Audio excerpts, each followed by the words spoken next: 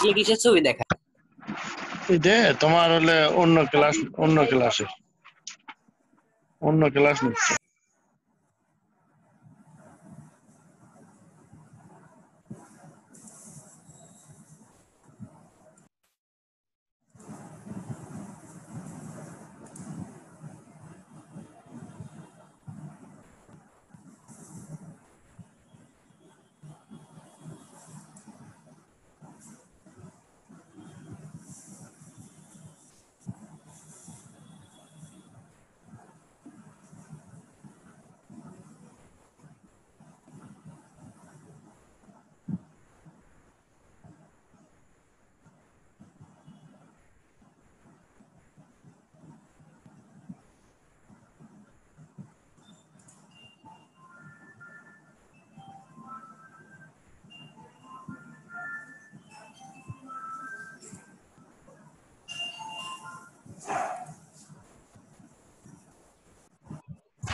Hello sir.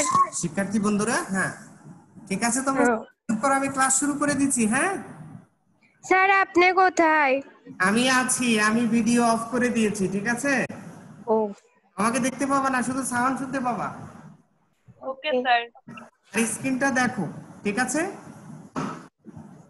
শিক্ষার্থী বন্ধুরা আজকের ক্লাসে তোমাদের সবাইকে স্বাগত। আশা করি তোমরা ভালো আছো।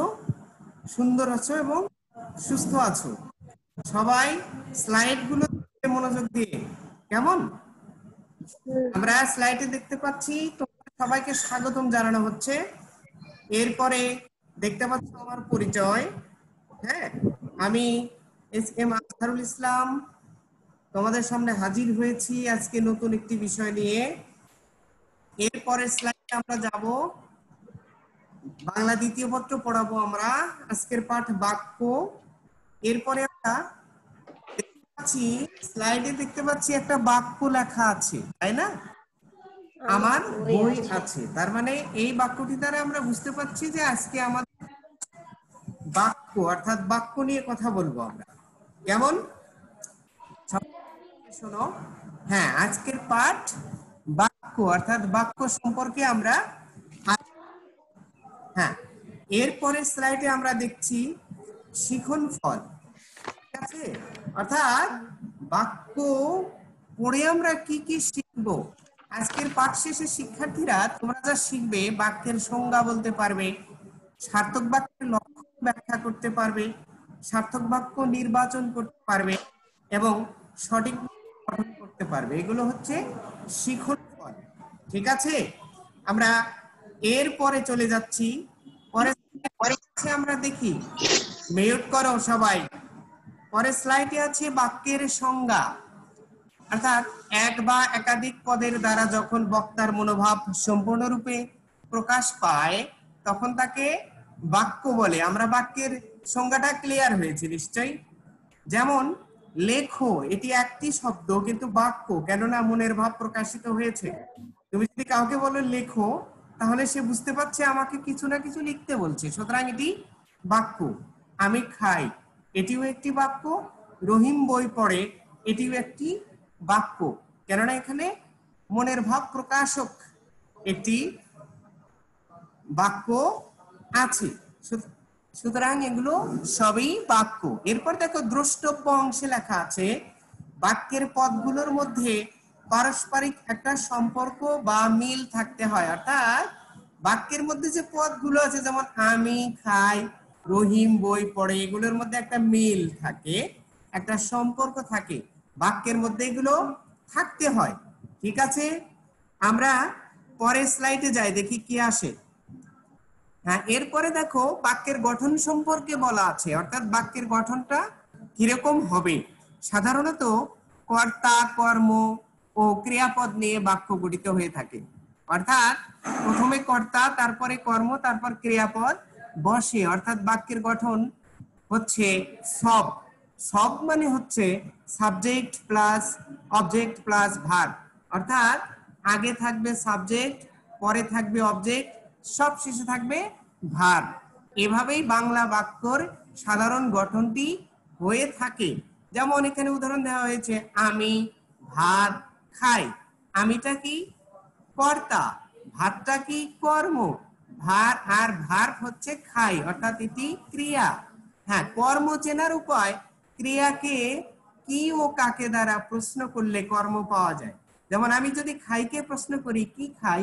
তাহলে কিন্তু ভাত উত্তর আসবে, সুতরাং এটি কর্মপদ। সুতরাং আমাদের বাংলা বাক্যের গঠনটি এরকম। Subject plus object plus verb. যেমন আমি ভাত খাই, এই যে এখানে একটি উদাহরণ দেওয়া আছে, আমি ভাত খাই, ঠিক আছে? অবশ্যই বুঝেছ। হ্যাঁ এরপর দেখো আমরা চিত্রে একটা ভাঙা দালান দেখতে পাচ্ছি। ভাঙা দালান মানে হচ্ছে এই দালানটি সুসজ্জিত নাই, সুগঠিত নাই, এলোমেলো অবস্থায় আছে, তাই না? হ্যাঁ এরপরের স্লাইডে আমরা দেখি ওই দালানটি এখানে সুসজ্জিত এবং সুগঠিত, অর্থাৎ এখানে একটা অট্টালিকা খুব সুন্দরভাবে বোঝা যাচ্ছে। হ্যাঁ এ থেকে তোমরা কি কিছু ধারণা করতে পারছ? হ্যাঁ এখান থেকে একটি ধারণা করার বিষয় আছে। সেটা হচ্ছে, আমি কেন এই ভগ্ন দালানটা দেখানোর পর আবার সুসজ্জিত দালান দেখালাম? এর কারণ হচ্ছে, আমরা পরের স্লাইডে যাই। পরের স্লাইডে আমরা দেখতে পাচ্ছি, বলে করিম কথা সত্য, আমরা লিখে মাছ আকাশে ওড়ে। এগুলো কিন্তু কোনো বাক্য হয়নি, এগুলো এলোমেলো আছে, ঠিক ঠিক ভগ্ন দালানের মতো, ঠিক আছে? যেমন, বলে করিম কথা সত্য, এখানে পদগুলো সাজানো নাই, যেমনটা একটি দালান ভাঙা অবস্থায় সাজানো থাকে না না থাকলে সুসজ্জিত অট্টালিকা হয় না, ঠিক সেই রকম একটি বাক্য যদি সার্থক হতে হয়, একটি বাক্য যদি সঠিক বা পরিপূর্ণ মনের ভাব প্রকাশ করা প্রকাশক বাক্য হয় তাহলে সেটিও সুসজ্জিত হতে হয়। এখানে আমরা তিনটি বাক্য দেখতে পাচ্ছি। একটা বাক্যও কিন্তু সুসজ্জিত নয়। আমরা লিখে, মাছ আকাশে ওড়ে, ঠিক আছে? ইত্যাদি। এগুলো কিন্তু আমরা সঠিক বাক্য হিসাবে পেলাম না। কেন, কেননা এগুলো এলোমেলো অবস্থায় আছে। তাহলে একটি বাক্যের কিছু গুণ থাকে, শর্ত থাকে বা বৈশিষ্ট্য থাকে, সেগুলো আমরা দেখে নেব। ঠিক আছে?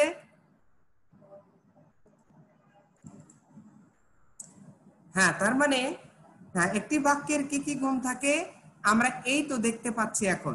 অর্থাৎ, একটি বাক্যের বাক্য গঠনের শর্ত বা আদর্শ বাক্যের বৈশিষ্ট্য এগুলো। একটি বাক্যের থাকে আকাঙ্ক্ষা, আসক্তি এবং যোগ্যতা। অর্থাৎ, একটি সার্থক বাক্যের এই তিনটি গুণ থাকতেই হবে। এই তিনটি গুণ না থাকলে একটি বাক্য কখনো সার্থক হতে পারে না।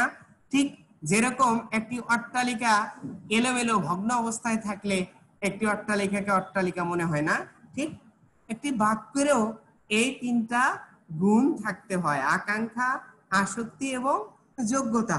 হ্যাঁ শিক্ষার্থী বন্ধুরা এসব আমরা এবার জেনে নেই আকাঙ্ক্ষা কি, আসক্তা কি এবং যোগ্যতা কি। অর্থাৎ আকাঙ্ক্ষা, আসক্তি এবং যোগ্যতা সম্পর্কে আমরা এবার ধারণা লাভ করব। হ্যাঁ প্রথমে আমরা দেখতে পাচ্ছি আকাঙ্ক্ষা। অর্থাৎ বাক্যে পরবর্তী পদ শোনার ইচ্ছেকে আকাঙ্ক্ষা বলে। অর্থাৎ একটি বাক্য তুমি যখন পড়বে, পড়ার সময় তুমি কিছু পদ পড়বে, পড়ার পর আরও কিছু পদ শোনার তোমার মধ্যে ইচ্ছা জাগবে। যখন এরকম হবে, তখন বুঝতে হবে যে বাক্যটি আকাঙ্ক্ষা পূর্ণ নেই, অর্থাৎ আকাঙ্ক্ষার অভাব রয়েছে। সুতরাং এটি সঠিক বাক্য নয়। আমরা উদাহরণ দেখি। যেমন দেখো আমি ভাত খেয়ে এই বাক্যটা যখন আমরা পড়ছি, তখন এখানে আরও কিছু তোমার শোনার ইচ্ছা যাচ্ছে তার মানে আকাঙ্ক্ষা রয়েছে। আকাঙ্ক্ষা পরিপূর্ণ নাই। যদি বলা হয় যে আমি ভাত খেয়ে পড়তে বসবো, ঠিক আছে? তাহলে কিন্তু বাক্যটি পরিপূর্ণ হলো, আকাঙ্ক্ষা পূর্ণ হলো। সুতরাং কি একটি বাক্য সঠিক হবে তখনই যখন এই আকাঙ্ক্ষাটি পূর্ণ হবে। ঠিক আছে? নিশ্চয়ই বুঝতে পেরেছ তোমরা আকাঙ্ক্ষা কি জিনিস? আমি আবারও রিপিট করি। আকাঙ্ক্ষা হচ্ছে একটি বাক্যে কতগুলো পদ শোনার পর পরবর্তী পদ শোনার যে ইচ্ছে, এই ইচ্ছেটাই হচ্ছে আকাঙ্ক্ষা। হ্যাঁ যেমন দেখতে পাচ্ছ, আমি ভাত খেয়ে এরপর ডট ডট ডট, তার মানে এরপরে আরও কিছু পদ শোনার তোমার ইচ্ছা জাগছে। সুতরাং আমি যদি বলি, আমি ভাত খেয়ে পড়তে বসবো, তাহলে তোমার আর আর কোনো কিছু শোনার ইচ্ছা জাগছে না। এই বাক্য দ্বারাই তুমি একটা কিছু বুঝে নিয়েছো। মানে ভাত খেয়ে একটা কাজ করা হবে। সুতরাং এটি আকাঙ্ক্ষা পূর্ণ বাক্য আর এটি আকাঙ্ক্ষার অভাব। এই বিষয়টাকেই কি বলা হয়? আকাঙ্ক্ষা বলা হয়। শিক্ষার্থী বন্ধুরা, আমরা পরে যাচ্ছি। হ্যাঁ পরের স্লাইডে আমরা দেখতে পাচ্ছি আসক্তি। হ্যাঁ আসক্তি কি আমরা পড়ব? বাক্যের অর্থ সঙ্গতি রক্ষা করে পদগুলোকে যথাযথভাবে সাজিয়ে রাখার নাম আসক্তি। অর্থাৎ একটি বাক্যে যে পদগুলো থাকে, সেই পদগুলোকে সঠিকভাবে সাজানো। কোন পদের পর কোন পদ বসবে, সেই দিক বিবেচনা করে পদগুলোকে সাজানোই হচ্ছে আসক্তি। ঠিক আছে? বুঝতে পেরেছ নিশ্চয়ই? তার মানে বাক্যের অর্থ সঙ্গতি রক্ষা করে, অর্থাৎ অর্থ ঠিক রেখে পদগুলোকে যথাযথভাবে সাজানোই হচ্ছে আসক্তি। আমরা উদাহরণ দেখি। যেমন, একটি উদাহরণ আছে, চাহি আমি ভুবনে না মরিতে সুন্দর। এটি কি কোনো বাক্য? নো কেন? এখানে পদগুলোকে সুন্দরভাবে সাজানো নেই। ঠিক আছে? চাহি আমি ভুবনে না মরিতে সুন্দর। এটা বাক্য হতে পারে না। যদিও অনেক পদ আছে, উপাদানগুলো আছে, কিন্তু কি নেই। অর্থসঙ্গতি রক্ষা করে পদগুলোকে যথাযথভাবে সাজানো হয়নি। তাই এটি বাক্য নয়।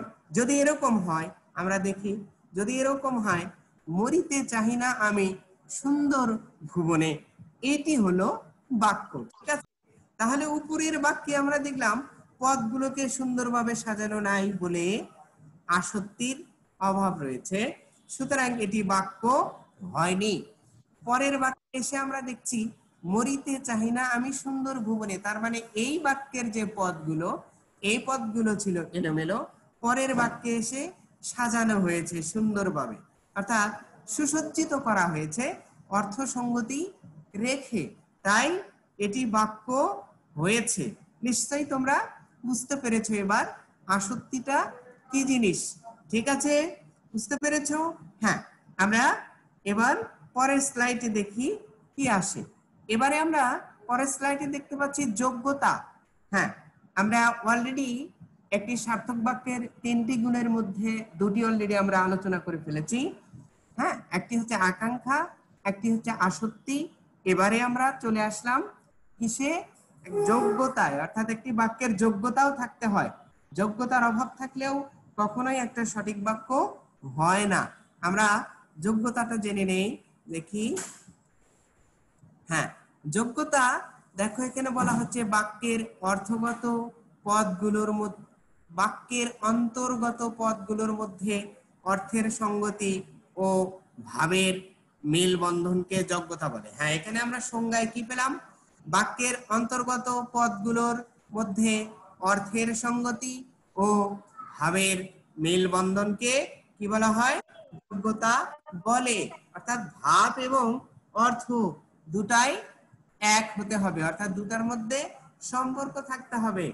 ঠিক আছে? যেমন দেখো, এখানে একটি উদাহরণ দেওয়া আছে, বাবা বড়শি দিয়ে মাছ ধরেন। এখানে বাক্যের সবই ঠিক আছে, সব। বাবা বড়শি দিয়ে মাছ ধরেন। সব পদগুলোই যথাযথভাবে বসেছে। পদ ও বিন্যাসে কোনো সমস্যা নেই। ঠিক আছে, বাক্যের শর্তও পূরণ হয়েছে। কিন্তু ভাবগত এবং অর্থগত মিল নেই। তার কারণ, বাবা বড়শি দিয়ে মাছ ধরেন। বড়শি দিয়ে হ্যাঁ বাবা বড়শি দিয়ে মাছ ধরেন। সরি এখানে এটা ঠিক আছে। বাবা বড়শি দিয়ে মাছ ধরেন, এই বাক্যটি ঠিক আছে? হ্যাঁ আমি যদি, কিন্তু যদি বলা হয় বাবা বড়শি দিয়ে নারকেল পারেন, এই বাক্যটা যদি আমি বলি। বাবা বড়শি দিয়ে মাছ ধরেন, এই বাক্যটা যদি বলি, তাহলে এই বাক্যে কিন্তু অর্থগত এবং ভাবগত অমিল লক্ষ্য করা যাচ্ছে, কেননা বাবা বড়শি দিয়ে নারকেল পারতে পারেন না। ঠিক আছে? বড়শি দিয়ে নারকেল পারা যায় না। সুতরাং এটি কি আছে? অর্থগত এবং ভাবগত অমিল রয়েছে। সুতরাং এটি বাক্য নয়, উপরের বাক্যটি সঠিক। বাবা মাছ ধরেন এটা ঠিক আছে। বড়শি দিয়ে যেহেতু নারকেল পারা যায় না, সুতরাং এটি বাক্য নয়, মাছ ধরা যায়, এটি বাক্য। অর্থাৎ এটি যোগ্য বাক্য আর এটি হচ্ছে অযোগ্য বাক্য। অর্থাৎ এটি যোগ্যতার অভাব রয়েছে। ঠিক আছে? হ্যাঁ তাহলে আমরা বুঝতে পারলাম যোগ্যতাটা কি জিনিস। আমি আবারও রিপিট করি, তোমরা শোনো। বাক্যের অন্তর্গত পদগুলোর মধ্যে অর্থের সঙ্গতি ও ভাবের মেলবন্ধনকে যোগ্যতা বলে। আমরা সংজ্ঞা অবশ্যই বুঝতে পেরেছি। হ্যাঁ যেমন, বাবা বড়শি দিয়ে মাছ ধরেন, এটি অর্থগত এবং ভাবগত মিল রয়েছে। এটি একটি বাক্য হয়েছে, কিন্তু যদি বলা হয়, বাবা বড়শি দিয়ে নারকেল পারেন এটি কিন্তু বাক্যটি হয়নি। তার কারণ বড়শি দিয়ে নারকেল পারা যায় না মাছ ধরার কাজে বড়শি ব্যবহার হয়। সুতরাং এখানে কি যোগ্যতার অভাব রয়েছে এই বাক্যে এটি বাক্য হয়নি এই কারণে এটি বাক্য হয়েছে। বুঝতে পেরেছ নিশ্চয়ই সবাই? হ্যাঁ এবারে আমরা হ্যাঁ এবারে দেখো আরও কিছু উদাহরণ তোমরা দেখতে পাচ্ছ। যেমন গরু আকাশে ওড়ে এটি কি যোগ্য বাক্য? না। কেন যোগ্য বাক্য নয়? গুরু আকাশে উঠতে পারে না। তারপরে পাখি সাঁতার কাটে। এটিও কি নয়? এটিও যোগ্য বাক্য নয়। ঠিক আছে? হ্যাঁ। এরপর আমরা দেখি হ্যাঁ। এরপরে বাক্য তার যোগ্যতা হারাতে পারে এরকম কিছু আরও কিছু বৈশিষ্ট্য আছে। এটা তোমাদের বইয়ে অবশ্য নেই। তোমরা ক্লাস নাইনে উঠলে এগুলো বিশদ ভাবে জানবে। একটু ধারণা রাখতে পারো তোমরা এখনই। নাইনে উঠলে যেহেতু পড়তে হবে, যেমন যোগ্যতার মধ্যে আরও রয়েছে, দুর্বোধ্যতা যদি থাকে, কোনো বাক্য যদি দুর্বোধ্য হয়, বুঝতে অসুবিধা হয়, সেটিও যোগ্যতা হারায়। উপমার যদি ভুল প্রয়োগ থাকে, তবু বাক্যটি কি হারায়? যোগ্যতা হারায়। বাহুল্য দোষ যদি হয়, বাহুল্য দোষ মানে অধিক শব্দের ব্যবহার, অতিরিক্ত শব্দের ব্যবহার, বহুল ব্যবহার, এরকম যদি থাকে, তবু বাক্যটি তার যোগ্যতা হারিয়ে ফেলে। আবার যদি বাগধারার শব্দ পরিবর্তন করা হয়, অর্থাৎ বাগধারা যেরকম, ঠিক সেরকমই রাখতে হবে। ওইটা যদি পরিবর্তন করা হয়, তাহলেও বাক্য তার যোগ্যতা হারায়। যেমন, পটল তোলা মানে হচ্ছে মারা যাওয়া বা অক্কা পাওয়া। তুমি যদি এটা ব্যবহার করো, তোলা আর উত্তোলন তো একই। সুতরাং তুমি যদি ব্যবহার করো পটল উত্তোলন, তাহলে কিন্তু বাক্য তার যোগ্যতা হারাবে। কেননা উত্তোলন আর তোলা এখানে এক অর্থে ব্যবহার হবে না। উত্তোলন মানে কালেকশন আর যেহেতু পটলের সাথে উত্তোলন এখানে যাবে না তোলাই ব্যবহার করতে হবে ঠিক আছে? হ্যাঁ তারপরে আবার গুরুচণ্ডালী দোষ। গুরুচণ্ডালী দোষ যদি থাকে তবু বাক্য তার যোগ্যতা হারাবে। এখানে গুরু স্যার গুরুচণ্ডালী কি? হ্যাঁ, আমি বলব বলব। গুরুচণ্ডালী দোষ মানে হচ্ছে সাধু এবং চলিতর মিশ্রণ যদি হয় সাধু চলিতর মিশ্রণ যদি হয় যেমন তোমার মরা পোড়া এইটি সাধু চলিত মরাও সাধু মরাও তোমার চলিত, পোড়াও চলিত। এটি মরার সাথে পোড়া যাবে, মরার সাথে দাহ যাবে না কখনো। দাহ যদি দেওয়া হয়, তাহলে সেইটি যোগ্যতা হারাবে, গুরুচণ্ডালী দোষ হবে। ঠিক আছে? আবার রীতি সিদ্ধ অর্থবাচকতা রীতি সিদ্ধ অর্থবাচকতা মানে একটা বাক্য কিছু রীতি মেনটেন করে চলে, কিছু শব্দের রীতি, সেগুলো যদি নষ্ট হয় তাহলেও বাক্য তার যোগ্যতা হারিয়ে ফেলে। Sir sir. হ্যাঁ বলো স্যার লাশ দাহ করা বলা যাবে। লাশ দাহ না না না। লাশ দাহ করা যাবে না। ঠিক আছে? তাহলে স্যার কি বলব? এই শোনো ওইটা ওইটা তোমাদের এখানে যেহেতু পাঠ্য নাই আমি বললাম যে নাইনে উঠলে তোমাদের বিশদভাবে এটা বোঝানো হবে। আমি জাস্ট একটি যোগ্যতা সম্পন্ন বাক্যের যে কি কি গুণ সেগুলোর সাথে এগুলোও থাকতে হয়। হ্যাঁ? বুঝতে পেরেছ? সব দাহ হবে। দাহটা হচ্ছে সংস্কৃত এবং মরার সংস্কৃত শব্দ হচ্ছে সব। তাহলে সব ব সব সুতরাং সবের সাথে দাহ যায়। বুঝতে পেরেছ? জি স্যার বুঝছি। হ্যাঁ ওকে। এরপরে এখন চুপ থাকো সবাই। এরপরের স্লাইড আমরা দেখি। হ্যাঁ এরপর দলীয় কাজ বলা আছে। আমরা যেহেতু একটি স্লাইড ক্লাসে প্রেজেন্টেশনের জন্য করি সুতরাং এই কাজগুলো থাকতে হয়। দলীয় কাজটা তোমরা বাসার কাজ হিসাবে করবে ঠিক আছে? যেমন দশটি সার্থক বাক্য লিখবে। হ্যাঁ দল গঠন করার দরকার নাই তোমরা প্রত্যেককেই এই কাজগুলো বাসায় করবে ঠিক আছে? হ্যাঁ এরপরে আমরা দেখি পরের স্লাইডে কি পাই আমরা? মূল্যায়ন এখানে আমি তোমাদের কিছু প্রশ্ন করব ঠিক আছে? একটি সার্থক বাক্যের লক্ষণ কয়টি থাকতে হয়? তিনটি। বলো ইসরাত জাহান। রূপা। হ্যাঁ তিনটি। গুড তিনটি। ভালো হয়েছে। তারপরে যোগ্যতা বলতে কি বোঝায়? বাক্যের যোগ্যতা বলতে কি বোঝায়? বাক্যের অন্তর্গত পদগুলোর মধ্যে অর্থের সঙ্গতি ও হ্যাঁ, ভাবের মিলন good, হ্যাঁ বুঝতে পেরেছ বন্ধনকে তোমরা যোগ্যতা বলে। ভেরি গুড ভেরি গুড তারপরে আসক্তি কাকে বলে? এটাও নিশ্চয়ই তোমরা বুঝতে পেরেছ তাই না? হ্যাঁ যেমন চার নম্বরে বলা আছে আমি বাজারে মাছ দিয়ে কিনলাম। বাকি কি ধরনের ভুল আছে? এটি কি ধরনের ভুল? আসক্তিগত হ্যাঁ আসক্তি। হ্যাঁ, আসক্তির অভাব রয়েছে। আমি বাজারে মাছ দিয়ে কিনলাম। এখানে আসক্তির অভাব রয়েছে। রয়েছে। হ্যাঁ গুড। হ্যাঁ কথা হবে না। হ্যাঁ এরপরে এরপরে তোমাদের বাসার কাজ দিলাম ঠিক আছে? বাসার কাজটা স্ক্রিনশট দিয়ে রেখে নাও। স্যার দলীয় কাজই তো দিলেন। দিলাম দলীয় কাজটাও বাড়ির কাজ এটাও বাড়ির কাজ। বাড়ির কাজ অত অল্প দিলে চলবে না বাসায় বসে আছো। একটি সার্থক বাক্যের কাজ তো সবাই হবে। উদাহরণ সহ স্যার এতগুলো কীভাবে করব? করবা। ঠিক আছে? হ্যাঁ কথা হবে না। একটি আগেরটা তো তুলে সুযোগ দিলেন না। আগেরটা তো তুলে নেওয়ার সুযোগ এটা দিলেন। তুলে নাও এটা তুলে নাও। একটি সার্থক বাক্যের কয়টি লক্ষণ থাকে উদাহরণ ব্যাখ্যা করো। আগেরটা তুলে নেব না? না এটা স্যার তুলে পারিনি তারা করবি না। এ, আগেরটা যেহেতু পারোনি এটা স্যার একটু বেশি হয়ে গেল। কথা হবে না। আর স্ক্রিন রেকর্ড স্ক্রিন রেকর্ড করে রাখছি। সে বেশি হয়ে গেল।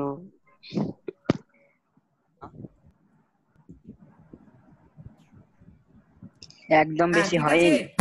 এটা তুলে নিয়েছে সবাই? জি স্যার। স্যার, বাক্যের মারছি। স্যার। উদাহরণ সহ ব্যাখ্যা করো। সাধারণত বাক্যের গঠন কেমন? উদাহরণ সহ লিখো। হ্যাঁ এই দুটি তোমাদের ভাষার কাজ। ঠিক আছে? বুঝতে পেরেছ নিশ্চয়ই? হ্যাঁ। জি স্যার বুঝছি অবশ্যই বুঝতে পেরেছ।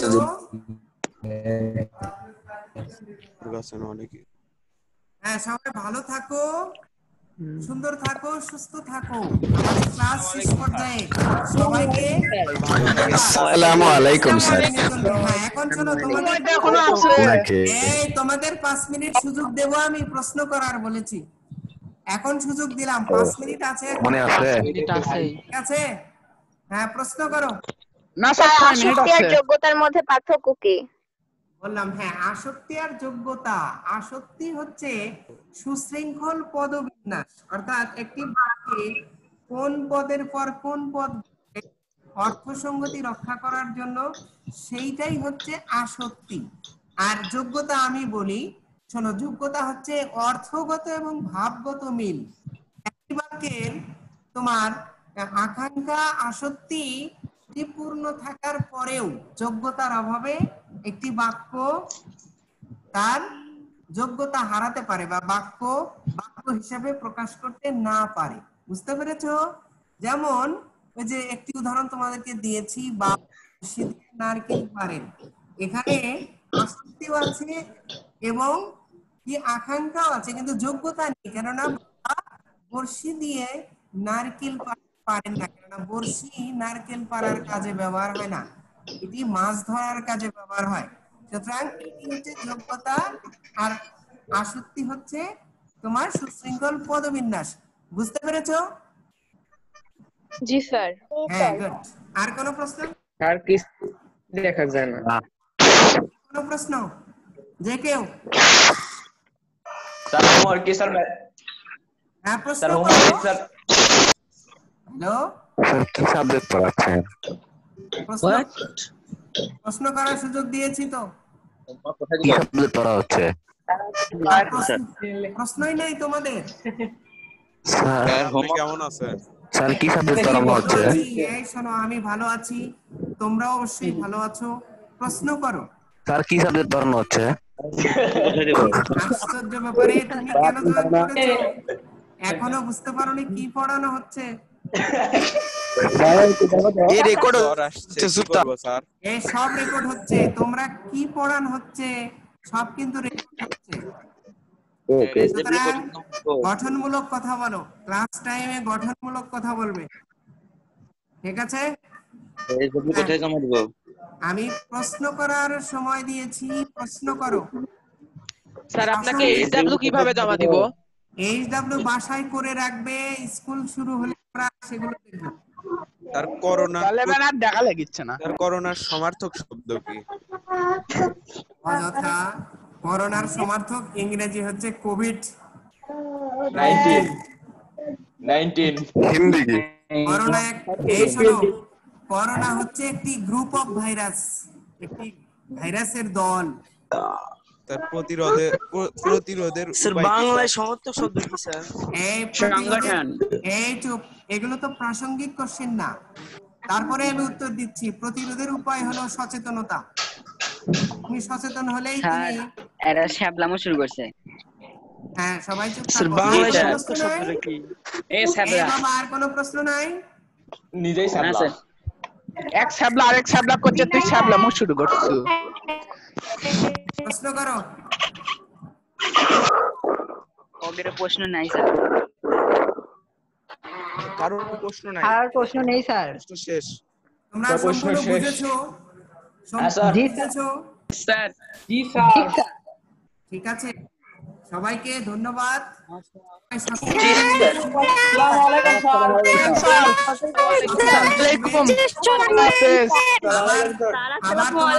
দেখা হবে নতুন কোনো বিষয় নিয়ে আসসালামু আলাইকুম। স্যার আসসালামু আলাইকুম ওয়ালাইকুম আসসালাম। আলাইকুম ওয়ালাইকুম স্যার ভালো থাকেন স্যার দোয়া করেন আমাদের জন্য। হ্যাঁ, অবশ্যই। জ্বর আসছে। আসসালাম। ভাগ্যে ওয়ালাইকুম আসসালাম। হিরো ভাই আছে নাকি? আছে না গেছে। আফ্রিদি আছে না? ও ভাই আসো। সবাই আছে। এ ফয়সাল নাকি রে? ভাই আছে আমি বে সব